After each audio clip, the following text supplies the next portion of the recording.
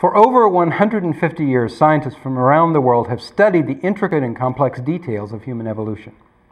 Many questions have been answered, and new problems have emerged as the journey to understand human evolution continues. Advances in technology have given us new and improved frameworks for unfolding the mysteries of human origins. Frameworks which allow us to understand human evolution as never before. But we also need to comprehend how and why humans evolved in the first place. A very special evolutionary trigger created our earliest human ancestors. This event at our very origins has shaped our contemporary world and our future in surprisingly pervasive ways. Our new book, Death from a Distance and the Birth of a Humane Universe, shares dramatic new insight into this event and all its myriad consequences for our origins, our history, and even our lives today.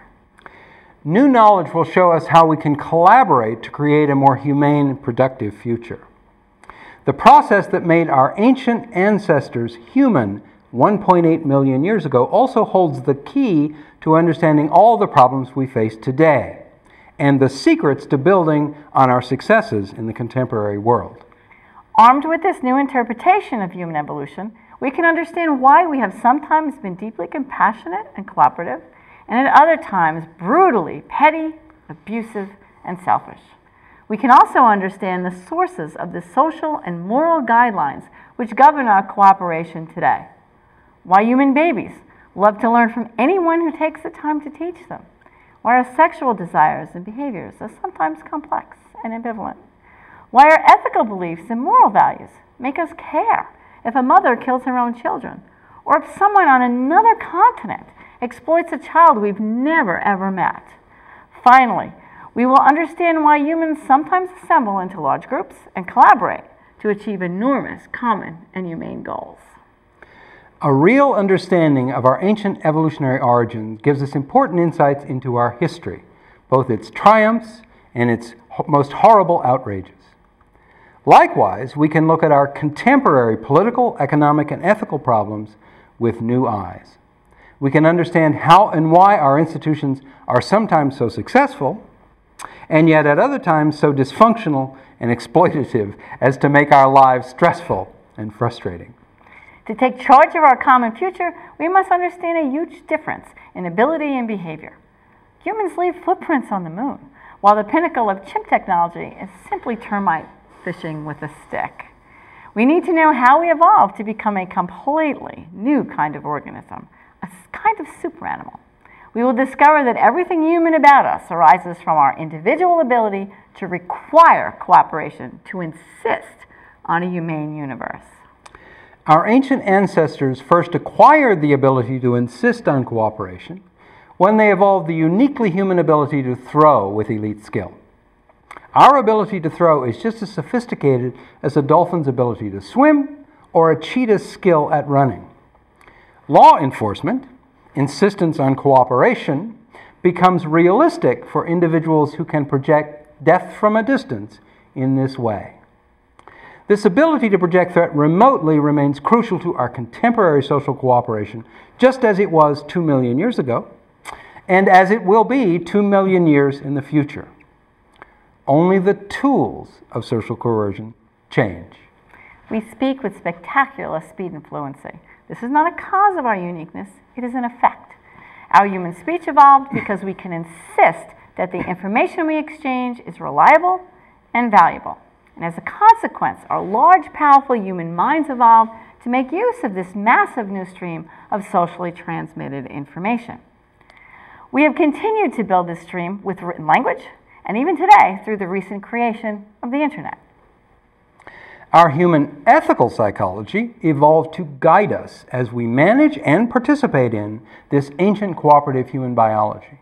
We all look at the world in terms of good and evil. Moral outrage against those who have injured people we care about drives our coercion. Guilt prevents us from becoming targets of coercion by others.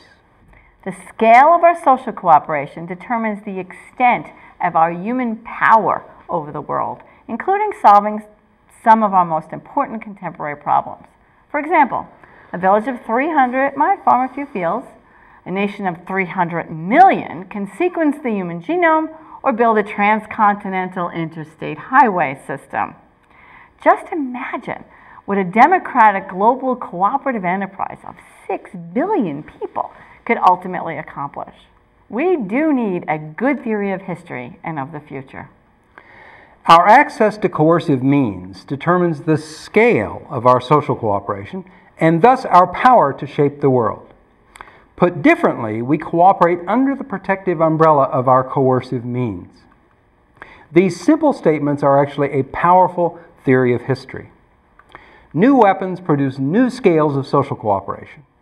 For example, the bow produced the agricultural revolutions, and gunpowder produced the economic miracle of the modern democratic state.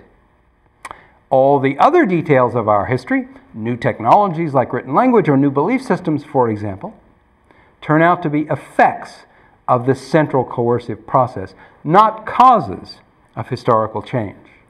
Access to the tools of social coercion also determines the structure of our societies hierarchical and male dominated, or democratic and sexually equal. Hierarchical, elite dominated states are brutal and poor, while democratic states can be rich and humane. We now have the insight to confidently say never again to the worst atrocities of our past. Finally, and most importantly, our strong theory of human evolution, properties, and history gives us useful new tools to take charge of our own personal lives and to build a far wealthier, more fulfilling society for all the world's children. Death from a Distance and the Birth of a Humane Universe shares the vital new insights we need. Reading this book will change forever the way you look at what it means to be human. The best days of the two million year old human adventure are yet to come. We have only just begun to fulfill the promise of our unique ancient biology. We have the real opportunity to rebuild the very universe itself, transforming it into a vast, humane society.